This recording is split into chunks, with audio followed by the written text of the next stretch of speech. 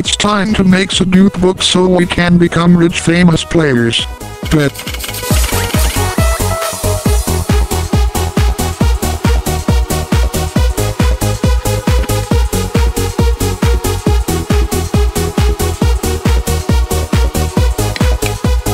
Take your totem off so I can kill you.